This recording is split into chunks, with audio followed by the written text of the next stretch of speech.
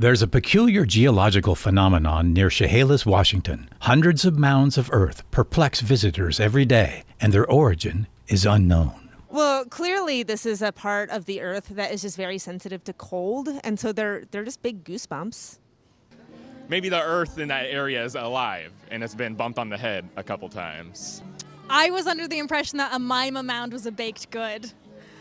Um, I'm pretty sure that it's uh, monster gophers.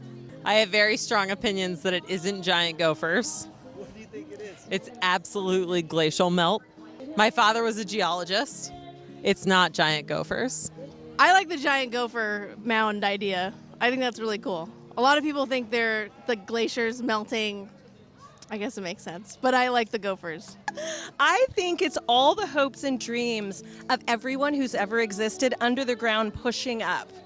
Well, in Tenino, we have a little bit of a different take on the Mima Mounds. You ever gone to a dog park before?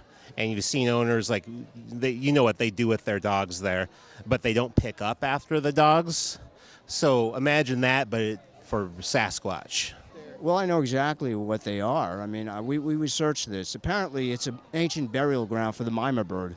So they would just go into these mounds, and the other Mima birds use their feathers and just push the dirt over, and then become a big mound of Mima birds. It's it's it's amazing. It's it's really, and this this is a fact. Yeah, I've been studying the Mima mounds for a long time now. What I've discovered is that they're made of a genetic material that's often found on the backs of goats. I mean, you know, I'm not above believing in aliens or, you know, supernatural maybe. I don't I don't know. I just saw two aliens walk by. How many people knew they were around? In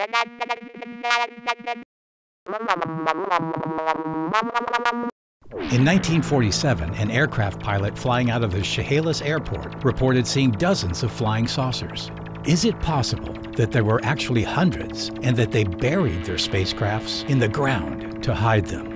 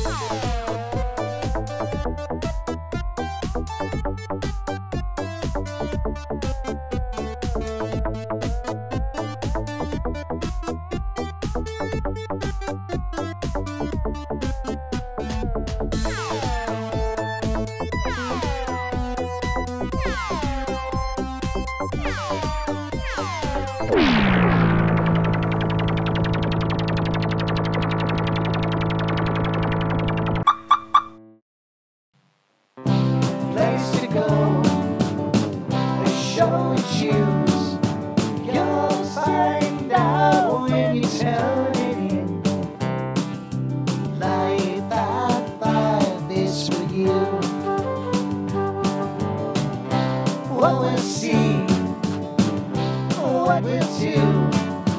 You'll find out when you tune